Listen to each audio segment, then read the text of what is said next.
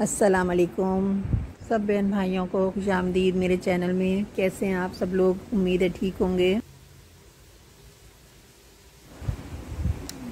आजकल अभी तो गर्मी ही चल रही है। हमारे काफ़ी, दो तीन दिन से तो काफ़ी गर्मी हो रही है। बारिश हुई थी तो बहुत अच्छा मौसम हो गया था।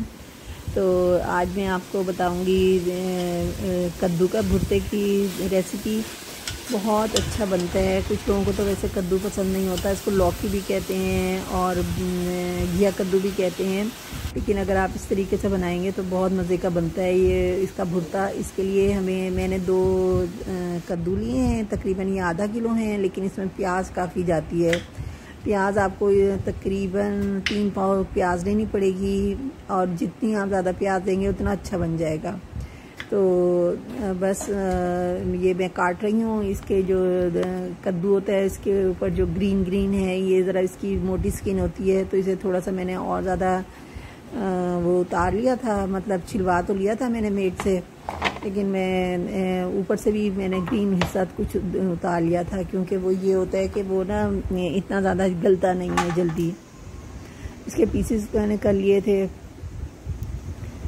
और चलें, कुछ और बातें भी करते हैं। जैसा कि आप सबको मालूम है कि ना ये प्याज मैंने कच्चे पक्के कर रही हूँ कि अजीम स्कॉलर जो हैं डॉक्टर जाकिर नाइक जैसे पाकिस्तान आए हुए हैं तो बहुत उनके पास नॉलेज है और बड़ी अच्छी बातें करते हैं। तो अभी मैंने उनका एक लेक्चर सुना है जो उन्होंने पाकिस्तान में दिया है। आए तो वो कल हैं। तो उसमें से कुछ बातें मैं ऐसे शेयर करना चाहूँगी कि उन्होंने, जैसे आजकल फ़लस्तीनी भाई हमारे मुसीबत में हैं तो उनसे सवाल किया गया कि इंडिविजुअल लेवल पे हम क्या, कैसे कर सकते हैं मुसलमान लोग? तो उन्होंने बहुत सारे पॉइंट्स बताए, तकरीबन 15 थे, लेकिन उसमें जो मुख्तर करके मैं आपको बताऊँ तो उन्होंने कहा कि हम एक तो ये है कि हम तहजद पे उनके लिए दुआ कर सकते हैं।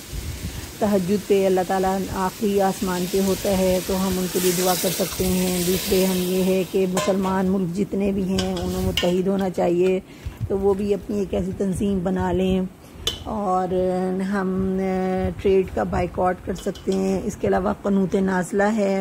कनूत नाजला मेरे ख्याल में कुछ लोगों को तो मालूम होगा, कुछ लोगों को नहीं होगा। अगर उन्हें नहीं मालूम तो वो ये दुआओं की किताब है और हजूसलम की हदीस बताई है कनूत नाजला। कनूत नाजला ये है कि वो हम पढ़ सकते हैं नमाज़ में। उससे ये है कि वो कनूत नाजला ख़ास तौर पे इसीलिए है कि वो दुश्मनों को बर्बाद करने के लिए है। तो अगर हम ये सब करें और इसके अलावा हम उनका ट्रेड का बाइकआउट कर दें तो हम एज़ अ मुस्लिम, हम अपने मुसलमान भाइयों की अपने घर में बैठे हम उनकी मदद कर सकते हैं। और बेशक अल्लाह ही निजात दिलाने वाला है, अल्लाह ही सब कुछ करने वाला है। निसो नाबूद करे, दुश्मन को अल्लाह रहम करे वैसे हालात के। तो अल्लाह इस से निकाले हमारे फ़लस्तनी बहन भाइयों को। ये देखें ये मैंने कद्दू डाल दिया था, इसमें मैंने पानी एक सॉस पैन पूरा भर के डाला था। तो उसके बाद इसको मैंने पकने रख दिया पहले तेज़ आँच पर ढक दिया था और फिर हल्की आँच पर।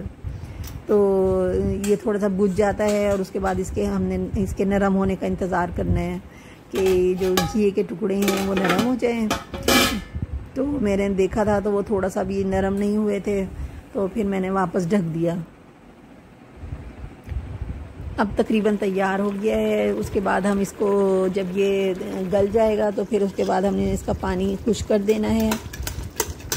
और इसको इस तरह ना क्रश कर लेना है। मैं तो चमचे से ही क्रश कर रही हूँ, लेकिन एक गोल सा मिलता है, वो मधानी सा होता है। अगर आपके पास वो है तो आप उससे क्रश कर लें। इसमें ऑयल डाल रही हूँ। दो टेबल स्पून ऑयल, हरा धनिया पड़ा हुआ था और हरी मिर्चें थी, वो मैंने काट ली। तो हरा धनिया तो जितना भी हो उतना अच्छा है। मैंने वैसे थोड़ा ही डाला है क्योंकि बच्चे बहुत ज़्यादा डालूँ तो वो पसंद नहीं करते, लेकिन मुझे बहुत पसंद है। इसके बाद हम इसको घी को हम भून लेंगे अच्छी तरह, और इसका पानी बिल्कुल खुश कर देंगे।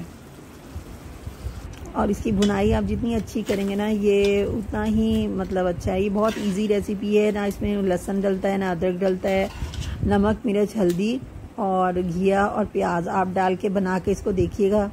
तो देखिएगा बहुत मज़े का बनेगा और आप इंजॉय करेंगी इस सब्ज़ी को।